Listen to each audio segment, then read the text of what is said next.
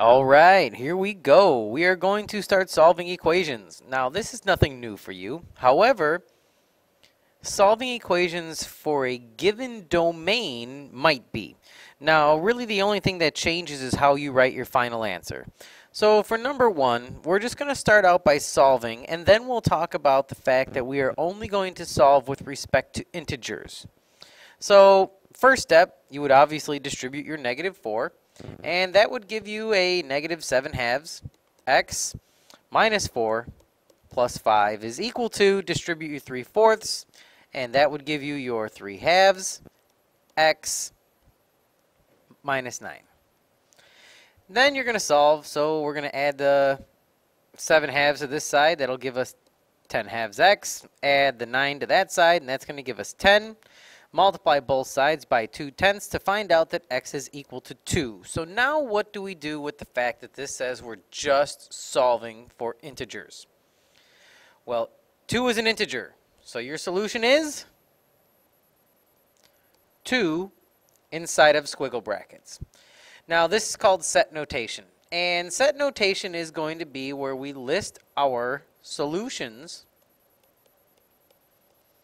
inside of squiggle brackets and extraneous solutions in parentheses. Now, you do not have to have an extraneous solution. An extraneous solution is a solution you get when solving that does not work with what it's being asked for. So let's say we got x equals 1 half. Well, technically 1 half is not an integer, so it would be an extraneous solution rather than a solution. Okay, so answers are always written in solution comma extraneous solution, but you do not always have to have an extraneous solution. You always need to have a solution of some sort, even if it's no solution or all real numbers. Little side note, no solution and all real numbers do not get written inside of squiggle brackets. Okay? So let's do another example. And again, you're just going to solve first step would be distribute your 7. So 7 minus 7m is equal to a negative 10m minus 8 plus 6m. Once you clean that up, you're going to have 7 minus 7m is equal to a negative 4m minus 8. Solve. You get your 3m is equal to 15. So m is equal to 5. So you're done solving but it says solve for negative numbers. Now, 5 is the only solution that we have, so you don't have to make up a negative or do anything crazy. You just have to say that this has no negative solutions with an extraneous solution of 5. That's what extraneous solutions are. So we got 5, but it's not a negative number, so we are not allowed to include that. Notice the no solution is not in squiggle brackets. Okay? Last example for just straight up solving would be what happens when you distribute and you get 10 minus 5x is equal to, once you clean this side up, negative 5x plus 10. You try to add your 5x to the other side and they cancel, so you're left with 10 equals 10 which is a true statement. So in this case, when you have a true statement, your answer is all real numbers. Um, if it was a false statement, say 5 equals 3, then it would be no solution. Now, since there were no solutions, um, we do not have any extraneous solutions. So again, you must have a solution. You do not have to have any extraneous solutions. Next example. You have two summer jobs. One pays 725 an hour, one pays 650 an hour, and you want to make $255 per week. This, all you have to do is set up a simple expression. The total amount of money you want is $255, and that's equal to the job that pays 725 an hour, and you know you are going to work there 28 hours per week, plus you have another job that pays 650 per hour and you are allowed to work as many hours as you want.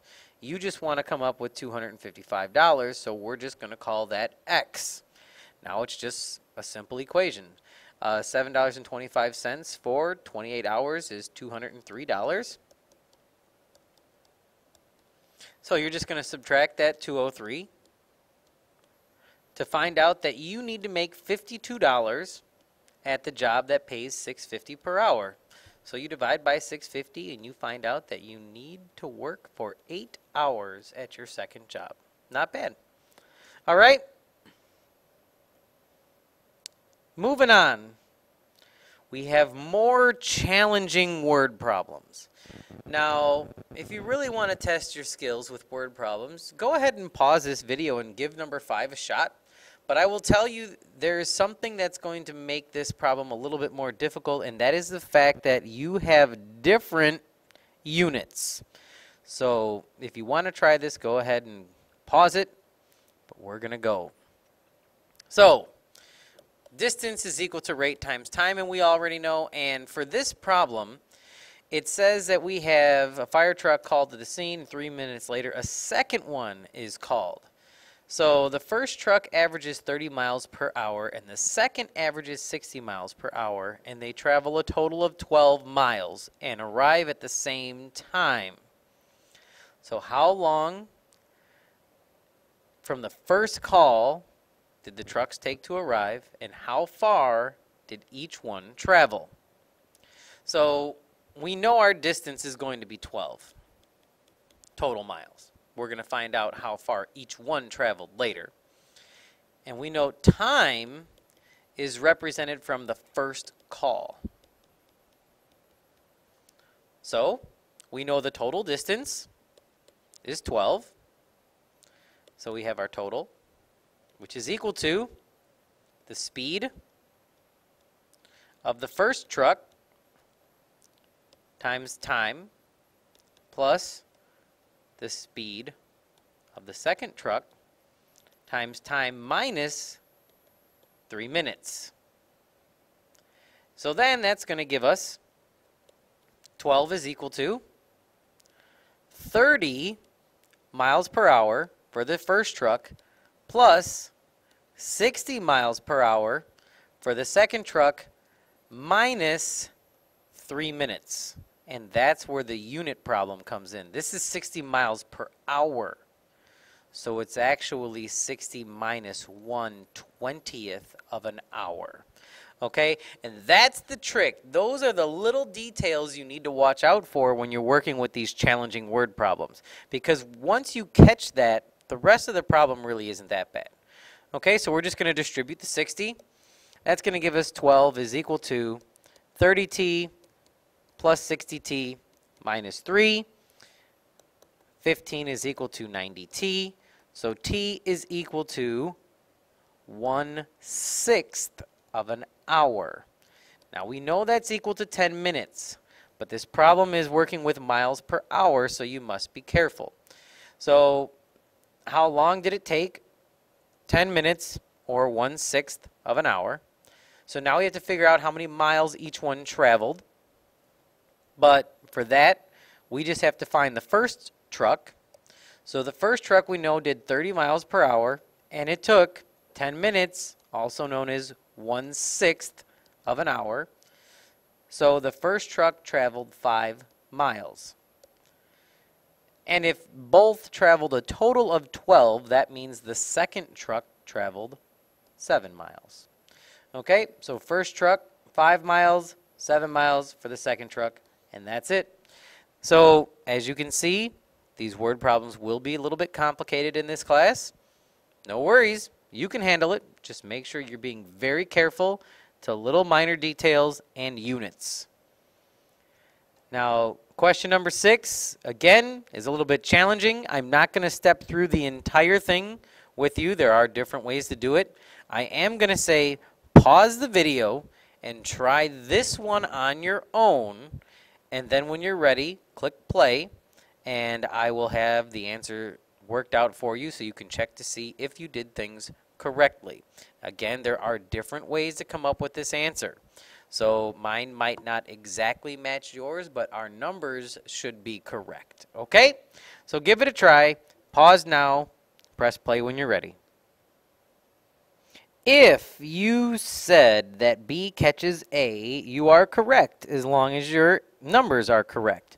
So cyclist A does 30 miles per hour for the first hour, then finishes the race at 25 miles per hour, um, so uh, kilometers per hour, and that's for 70 remaining after cyclist B had his mishap.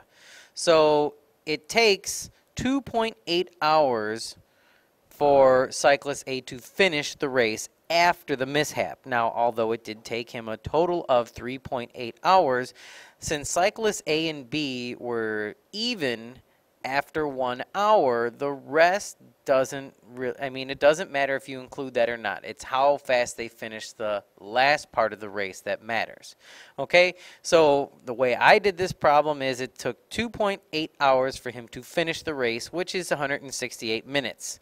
And why I changed the minutes will, I'll explain in just a second. And that's because cyclist B did something similar 30 miles or kilometers per hour for the first hour and then 27.5 to catch up after his mishap.